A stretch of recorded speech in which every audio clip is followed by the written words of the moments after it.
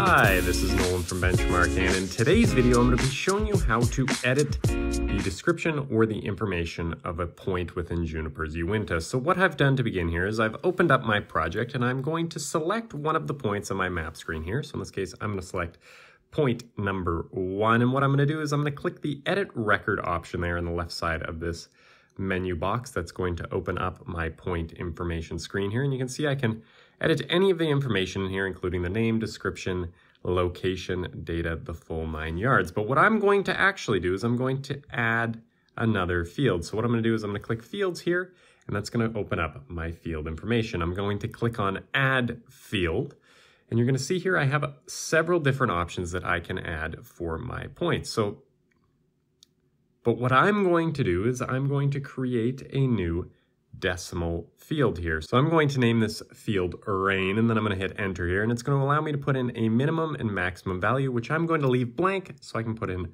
whatever number I so please. And you can see here that it's now added to my field and if I would go back to my point I'd be able to add information in this decimal field and continue on my merry mapping way.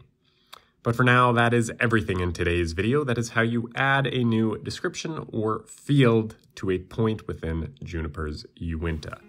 And if you have a moment, I would please ask you to hit that subscribe button down below. It really does help us out and helps me keep making these videos. And if you have any questions about anything you've seen in today's video or any questions about anything you've seen on our YouTube channel, please give us a call at 1-888-286-3204 or visit us on the web at bench-mark.ca.